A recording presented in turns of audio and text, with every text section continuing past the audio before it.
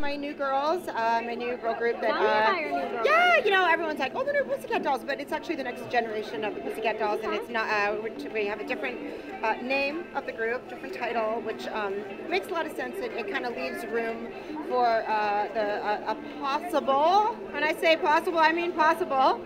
Pussycat Doll reunion. Ah. But um, but but these girls are new. My new girl group. Um, I'm partnering up with um, Larry Rudolph and uh, Dr. Luke. Oh, And okay. yeah, it's very exciting. And these girls are so talented. They are amazing. They are stunning. They all sing. They all dance.